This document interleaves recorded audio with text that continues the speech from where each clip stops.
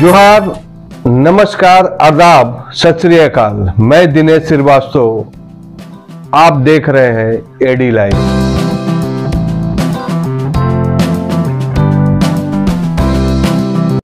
regional transport authority Kolhan, Chaibasa. आज बहुत तीन दिन से मीटिंग हो रहा था। वह मीटिंग था परमिट रोड सेफ्टी के ऊपर में बहुत अधिक गहन हुआ और इसमें हिसाब से परमिट पास किया गया। आज हमारे साथ सिम्बुम बस ऑनर के अध्यक्ष हैं। उनसे बात करते हैं कि, सर, जो परमिट पास हुआ, जो रोड सेफ्टी में काम हुआ, क्या आप उससे संतुष्ट हैं? और भी कुछ बात है तो आप हमारे चैनल में रखिए, हम इसको दिखाएँगे। मेरा नाम प्रदीप अग्रवाल हुआ और मैं गत दस सालों से शिम्बुम बस ऑनर एसोसिएशन का अध्यक्ष हूँ। और जहाँ तक है कि हम लोगों का कोल्हान परमंडल 2016 में हम लोगों का कोल्हान परमंडल बना आरटीए आया, जो कि उस समय से एक दो मीटिंग हुई हम लोगों का 2017 में। उसके बाद 2017 के बाद फिर मीटिंग नहीं हुई हम लोगों का। जो- 2017 के बाद जो भी परमिट दिया गया स्टेज कैरेज परमिट दिया गया उसके बाद 2019, 2020, 2021, 2022 नहीं हुआ। क्योंकि पहले एनडीए की सरकार थी तो एनडीए के जो गैर सरकारी सदस्य थे वो जब एनडीए की सरकार ख़त्म हुई तो फिर वो साथ ही साथ वो सदस्य भी ख़त्म हो गए। लेकिन बीच में कोरोना काल आ जाने के कारण और भी बहुत सारा मामला था वो सबको सलटते हुए अभी हम लोगों का टोटल झारखंड में पाँच परमंडल हैं और पाँचों परमंडल में दो दो गैर सरकारी सदस्य मनोनीत हो चुके हैं और इसी के हिसाब से हर एक परमंडल में अब हम लोगों का बैठक हो रही है, जिसमें हमारे परमंडल के जो कमिश्नर होते हैं, वो अध्यक्ष होते हैं। हमारे जो परमंडल के आरटीए के सेक्रेटरी होते हैं, वो एक मेंबर होते हैं, तथा दो मेंबर है सो गैर सरकारी मेंबर होते हैं।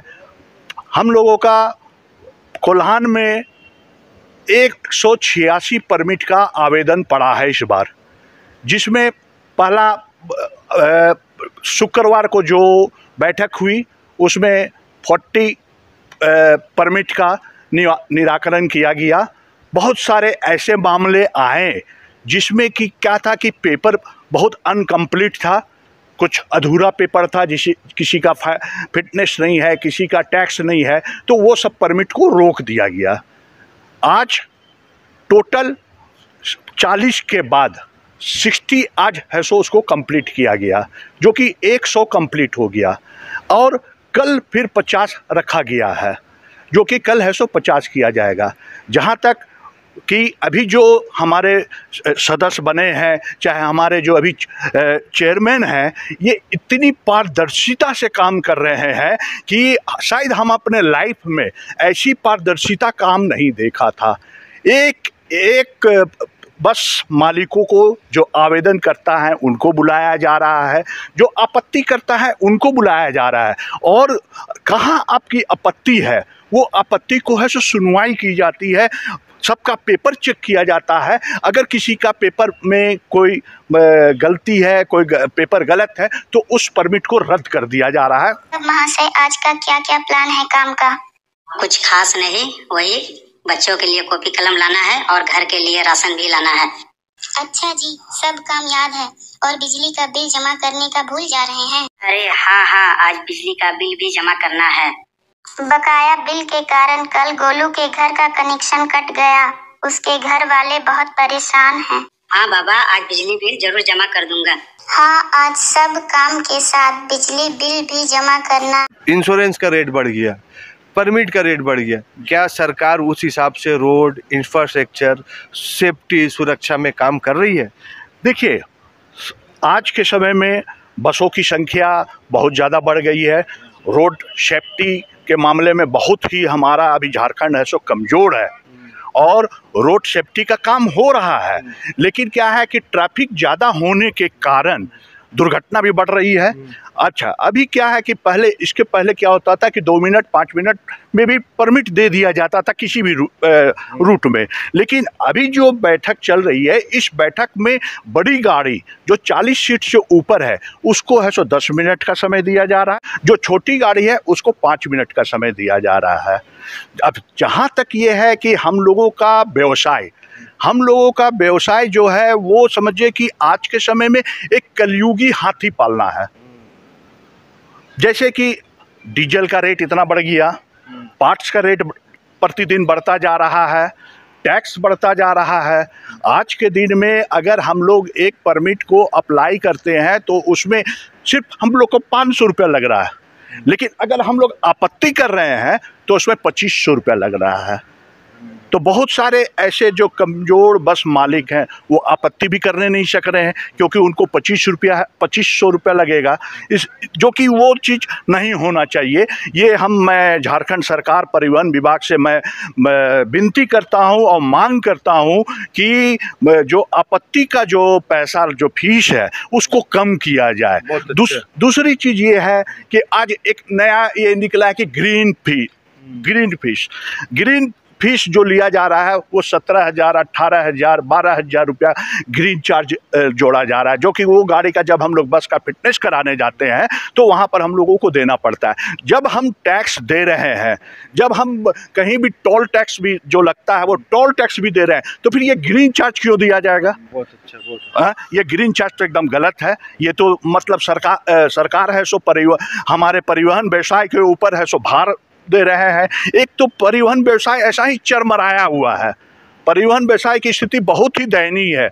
बहुत से ऐसे बस मालिक हैं जिनका जो अपना जो बैंक से गाड़ी लेते हैं, बैंक से वित्त करवाते हैं और बैंक का पैसा नहीं देने सकते हैं। आप हमेशा सुनते होंगे कि बस है, सो उसका टना गया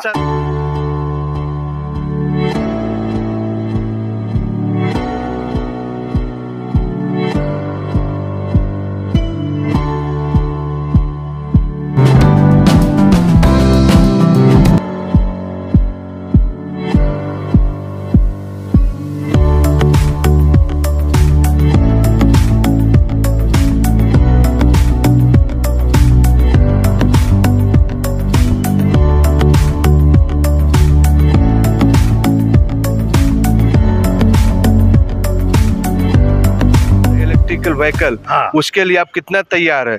दूसरी चीज़ की सरकार अभी बजट में पास की कि पंद्रह साल से जितने भी पुराने गाड़ी है हाँ। उसको भी अब स्क्रैप माना जाएगा। तो क्या आप उसके लिए तैयार हैं? नहीं मैं नहीं तैयार हूँ।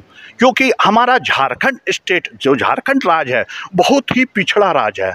और वो बिहार से बंटवारा करके उसको झारखंड बनाया गया है। अभी झारखंड का इंफ्रास्ट्रक्चर सही नहीं है। पहले इंफ्रास्ट्रक्चर सही करें। आज के दिन में अगर मैं कोई एक इलेक्ट्रिक गाड़ी बस खरीदता हूँ चाहे कार ही खरीदता हूँ तो उसका कहीं भी हम लोग को इलेक्ट्रिक चार्ज करने का है सो अ, साधन नहीं है। तो वो- वो गाड़ी तो हमारे लिए माच, माचिस का डब्बा हो जाएगा। ऐसी गाड़ी लेकर के क्या फ़ायदा है? दूसरी बात ये है पंद्रह साल का है। ये पंद्रह साल का जो हम लोगों का झारखंड के लिए ये सूट नहीं करता है। क्योंकि हम लोगों का झारखंड जो है वो देहाती क्षेत्र ज़्यादा है। ये यहाँ के आदिवासी इकोनॉमिक सपोर्ट नहीं कर रहा है। इकोनॉमी सपोर्ट नहीं कर रहा है। इसको कम से कम सत्रह साल अट्ठारह साल करना चाहिए। फ़र्स्ट दूसरी चीज़ क्या है कि कोरोना काल दो साल हम लोगों का कोरोना काल रहा। दो साल कोरोना काल में हमारा भारत सरकार के निर्देश से भारत सरकार के आदेश से सभी गाड़ियाँ को बंद कर दिया गया। तो वो जो दो साल जो अगर मान लेते हैं पंद्रह साल का आप ही रखते हैं तो दो साल को आपको एक्सटेंशन देना चाहिए था। क्योंकि दो साल आपकी गाड़ियाँ खड़ी रही है तो उसको दो साल का एक्सटेंशन करके सत्रह साल करना चाहिए। जिसकी मांग हम लोग है सो परिवहन विभाग में कर चुके हैं परिवहन मंत्री जी से भी कर चुके हैं और उन लोगों से आश्वासन भी हम लोगों को मिला है कि ठीक है अगली बैठक में हम लोग इस पर विचार कर सकते हैं हम लोग इस पर विचार करेंगे। जो सरकार से मांग है उन्होंने अभी पूरी अच्छी तरह से रखा एडी लाइव का वीडियो को देखने के लिए धन्यवाद। साथ ही आप सभी को मिल रहे अपार प्यार सहयोग उनसे भी ज़्यादा धन्यवाद और आभार। एडी लाइव को सब्सक्राइब करें, वीडियो को लाइक करें, शेयर करें। अपने सुझाव कमेंट बॉक्स में ज़रूर दें। देखते रहे एडी लाइव